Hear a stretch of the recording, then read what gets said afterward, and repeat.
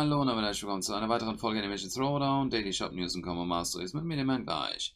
Wir schauen wieder in die Kommentare rein. Hier haben wir den ersten Kommentar von Tom der Fan. Lohnt sich die Jackpot-Preisbox? PS, danke für die Fragebeantwortung. Die Jackpot-Preisbox. Äh, Jackpot-Preisbox, Jackpot-Preisbox, Jackpot-Preisbox, Jackpot-Preisbox. Ich denke, ich weiß, was du meinst. Du meinst wahrscheinlich das hier, diese Mamas Altmonte-Geheimnis-Schatulle. Da unten steht nämlich Jackpot-Preis. Ähm, schauen wir doch mal ins Ding da rein.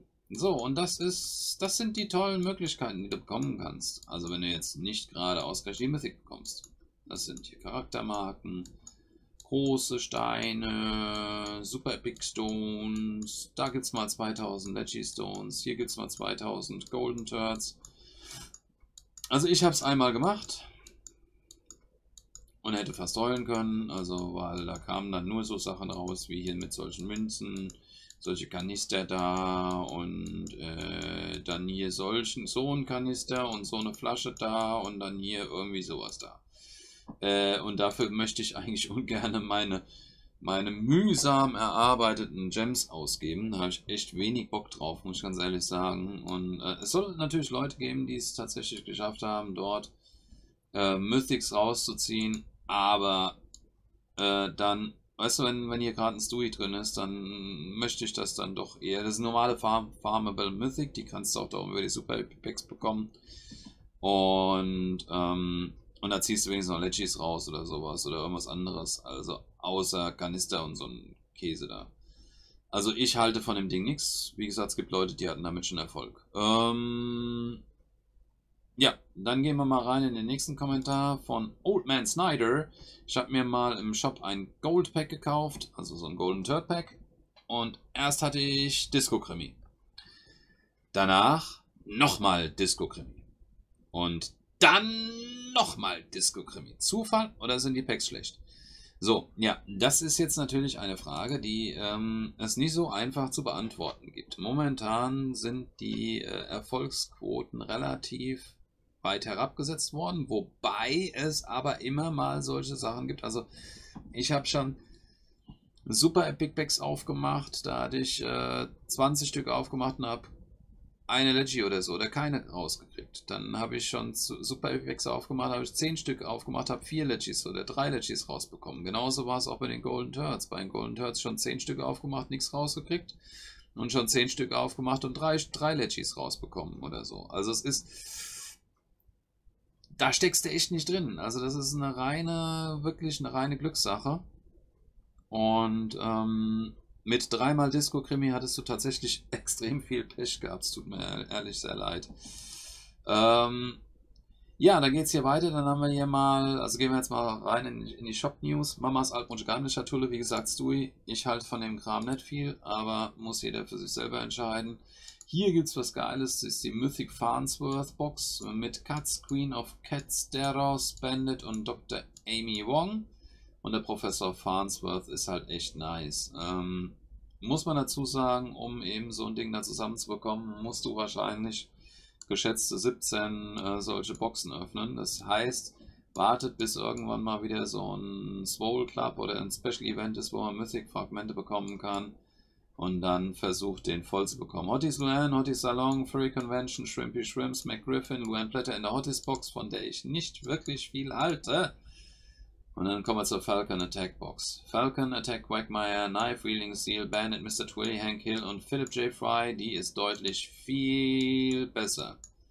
Lois Griffin, hatten wir schon drüber gesprochen, bin ich auch kein Fan von.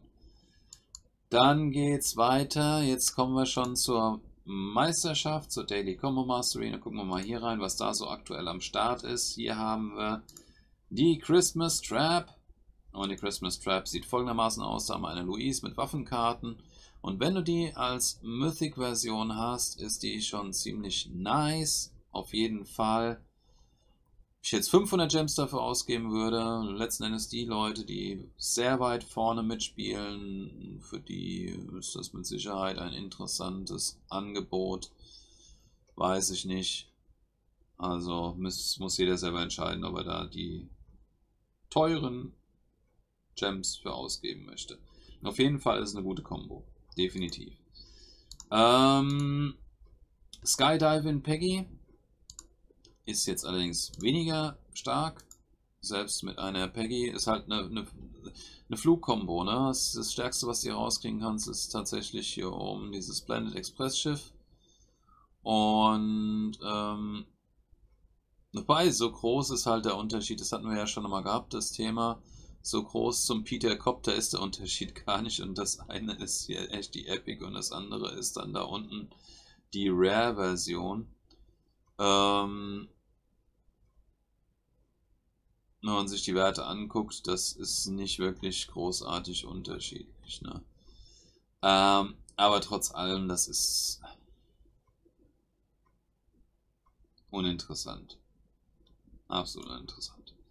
So, dann geht's weiter. Dann sind wir bei der Prison. Prison, Prison, Break, Break, Break, Break, Break, Mac, Mac, Mac, Mac, Mac, Mac, Prison Break, Prison Break, Mac, Mac. Und die sieht folgendermaßen aus. Hier hast du jetzt äh, tatsächlich eine Mac Griffin. Ich habe die jetzt mal gemaxt hier. Wenn man mal sehen kann, was hier im Maximum rauszuholen ist. Ich halte ja von Mac oder von der Mac Griffin nicht wirklich viel. Aber hier kommt immerhin mit äh, bei einer Maxed Mac Griffin mit einer Big Ass Gun 14-fach Cripple All raus und das ist natürlich nicht schlecht. Und wenn man da jetzt nochmal 10% drauf klatscht, dann bist du bei 15. Und wenn du nochmal was drauf klatschst, dann bist du wahrscheinlich bei 17. 17-fach Cripple All wäre ziemlich crazy. Ähm, insofern, ja, hm. das jeder von euch selbst überlegen. Wenn er eine Mac Griffin im Deck hat und Waffenkarten, Cripple All in dieser Fülle ist natürlich nicht schlecht. Ja. So, dann ähm, kommen wir zu Diamond Ring Lois und die Diamond Ring Lois ist diese hier. Ja, mit äh, Geldkarten. Ne? Das einzige, die einzige Geldkarte, die es gibt äh, in der legendären Version, ist halt dieses Bag of Nickels. Und dann kommt da hinten schon eine relativ gute Diamond Ring Lois raus mit 21-fach Revanche und 26-fach Leech. Aber ich kann mir kaum vorstellen, dass irgendjemand tatsächlich Bag of Nickels spielt. Ich weiß es nicht, aber ich, ich kann es mir nicht vorstellen. Also die Combo äh, Lois Griffin und Back of Nichols ist, denke ich mal, relativ exotisch. Aber liebes Congregate Team, solltet ihr äh, dieses Video sehen, ja, als ihr da diese Combos, die ihr an andere Spieler verkauft hattet, äh, für alle Spieler zur Verfügung gestellt habt, hieß es in eurem Forum in einem Statement, es, diese Kombos wären ja nur Zufall. Ähm, sorry, ihr habt jetzt eine Lois Griffin zum Kaufen und habt jetzt zweimal eine Lois Combo hier bei den Masteries. Äh, ist das tatsächlich ein Zufall? Also, ähm, gestern war es die Rambo Lois, soweit ich mich erinnern kann. Jetzt ist es die Diamond Ring Lois. Würde mich freuen, wenn mal wieder was anderes drin wäre, als jetzt ständig nur noch Lois. Ähm, ne. Okay, also, wenn es euch gefallen hat, dann äh, lasst doch mal einen Daumen nach oben da, schreibt was in die Kommentare, abonniert den Kanal, falls ihr es noch nicht getan haben solltet und schaltet das nächste Mal wieder ein, wenn es wieder heißt Animations Roller und mit mir, dem gleich. Haut rein, macht's gut, bis dann und tschüss.